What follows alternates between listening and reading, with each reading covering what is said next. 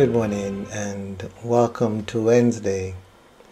Trust that you had a wonderful night and you are all prepared for this new and wonderful day. This morning, as we gather, we give thanks to Almighty God for all that He is doing in our lives. We thank God for even bringing us back into this arrangement again today. We thank God for the light that we have seen as we open our eyes and recognize that it is a new day.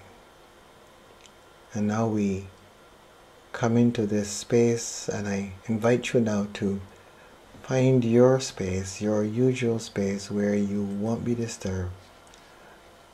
Come away for a few moments with me and allow yourself to receive that wonderful inspiration that comes only from the one who has called us into being and helps us to recognize really and truly who we are and who He has made us to be. Come now, come away, as Jesus oftentimes came away from others and He was by Himself, connecting with His Heavenly Father renewing, revitalizing, remembering. Remembering home, remembering where he had come from. We all have forgotten. In our lives, in our journeys, we we've forgotten. We've forgotten where we have come from. We have forgotten our Father. And we try as best we can to remember, to recall. But we know that we have forgotten for the most part. So let us use times like these to try to recall who we are, to try to recall the light that we are, and be reminded. So come now into your heart space. Just bring your attention into your heart, however you accomplish that whether you need to touch your heart or just focus on it. Just come into your heart space and feel, feel yourself in your heart. Allow your awareness to be in your heart. And just breathe slowly, intentionally and consciously into your heart space. Just take deep breaths into your heart space. And just feel your heart being enlivened and expanded just by this act of breathing. Feel that expansion. Allow yourself to breathe normally now, but be aware that you're breathing. And from this space of awareness, create a sense of compassion for the world, compassion for persons that may need it. Create a sense of love, deep, deep, meaningful love. Not transactional love, but just deep love. Feel that love. Or at the same time, just feel that sense of gratitude for all that is. Gratitude for this beautiful light that has come into our world this day. And we can open our eyes and there it is.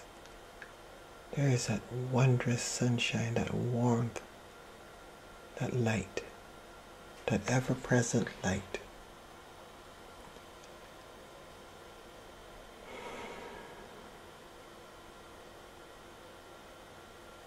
And in this space, in this wonderful space, we turn our attention as we open ourselves up and we allow ourselves to be at one with the divine. Pray with me, O ever loving God, who today calls me to abide in the eternal bosom of love. I offer my thanks for a new day, and a new opportunity to correct the wrongs of yesterday. I ask continually for your guidance and thank you for your steadfastness in not letting me or leaving me, but constantly molding and shaping me into what you know me to be. As I begin this week, I ask that you go before me and provide me with a path to follow. May your messengers be ever patient in showing me the way, and may my day, day by day, be for you. And may I desire more and more to listen and to follow. Amen.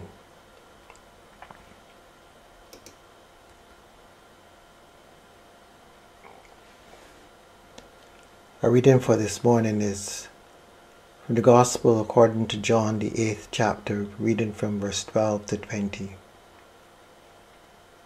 John chapter 12, John chapter 8, verse 12 to 20.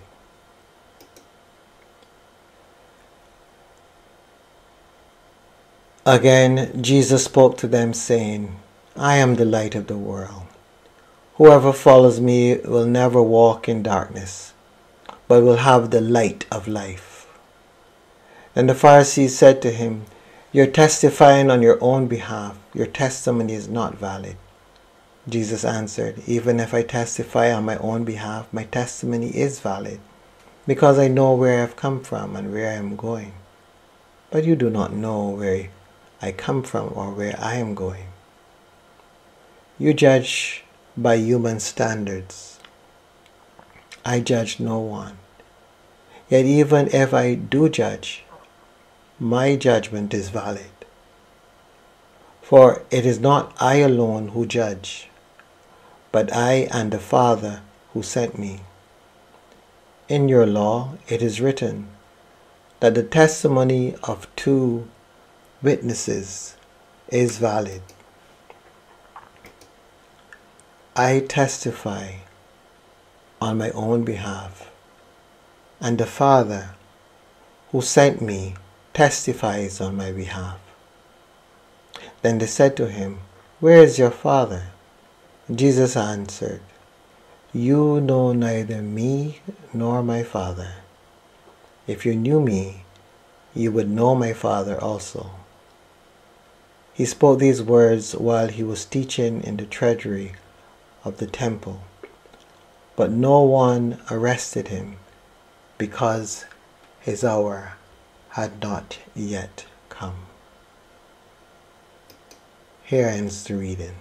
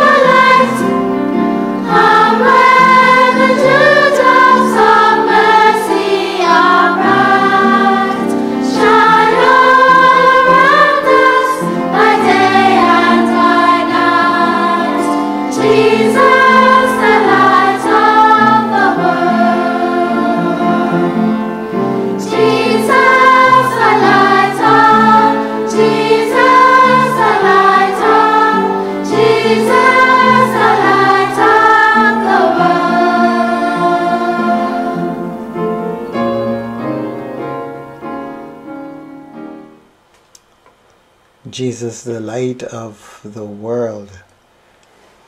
We hear it out of the mouths of the little ones as they share with us this morning. I am the light of the world, Jesus says. And he bears witness to himself because he knows that his Father too bears witness to him. Jesus, in, in continually engaging those who are willing to challenge him, is forever causing them to come up higher, to look at the world from a higher place. Jesus speaks of himself as being at one with the Father, and it is there that Jesus is able to attain the light that he speaks of. When we listen to the words of Jesus and we listen to how he engages those who challenge him, those who are challenging him from the comfort, as it were, of their religious tradition, those who, as far as they're concerned, they have received the truth, they have known the truth, and what Jesus is saying makes no sense to them because it's not part of their truth. And therein lies the challenge because even here Jesus Jesus indicates that you don't you don't know me because you don't know the Father.